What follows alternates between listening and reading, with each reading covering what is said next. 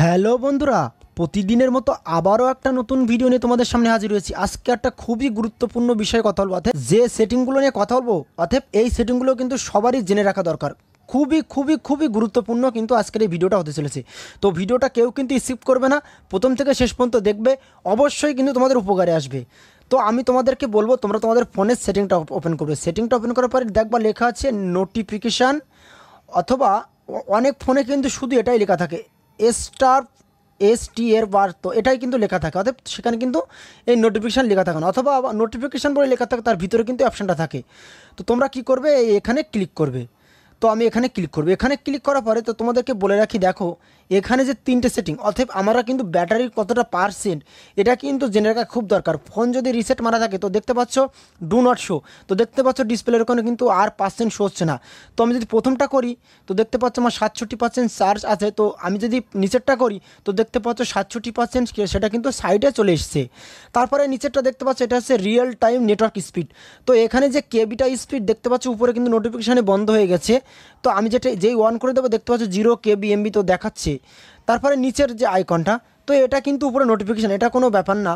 তো এই দুটো সেটিং কিন্তু মেন সেটিং তারপরে উপরে যে টাইম অতএব অনেকের কিন্তু দেখতে পাচ্ছ তিনটে পাঁচ লেখা আছে এখানে। আমি যদি নিচেরটা করে দিই, তো দেখতে পাচ্ছ এখানে কিন্তু সেকেন্ড অতএব তিনটে পাঁচে সেকেন্ড শুরু হয়ে গেছে।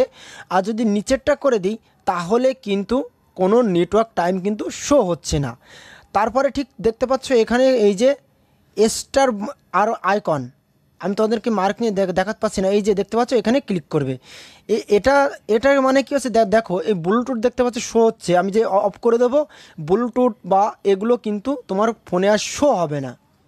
ভিপিএন বা ভিপিএন যদি লেখা থাকে, সেটাও শো হবে না। দেখো মোবাইল নেটওয়ার্ক যদি আমি করি, দেখো, আমার কোনো কিন্তু নেটওয়ার্ক নেই। দেখো অপশানটাই আউট হয়ে যাবে। তো দেখতে পাচ্ছ, এখানে এরোপ্লেন অর্থাৎ মানে এরোপ্লেনে করে থই করে থও, তাহলে এরোপ্লেনটাও অফ হয়ে যাবে।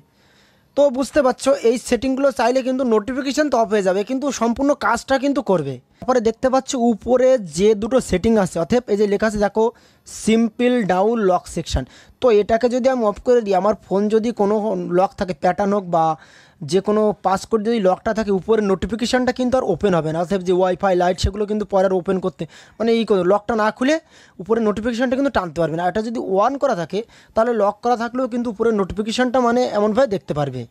তারপরে নিচেরটা দেখো, এটা যদি আমি অফ করে দিই, তো দেখতে পাচ্ছ এই ডাটা সেটিংটা মানে দেখতে পাচ্ছ ডেলি ডাটা সেটা কিছুই দেখাচ্ছে না। আমি যদি এটা ওয়ান করে দিই, দেখো আমার টু ডের যে ডাটা ইউজ সেটা কিন্তু শো করছে। তো বুঝতে পারছ? বন্ধুরা, এই ছিল আজকের ভিডিও। ভিডিওটা যদি ভালো লাগে, তাহলে প্লিজ একটা লাইক করবে আর আমার চ্যানেলে অবশ্যই অবশ্যই সাবস্ক্রাইব করবে।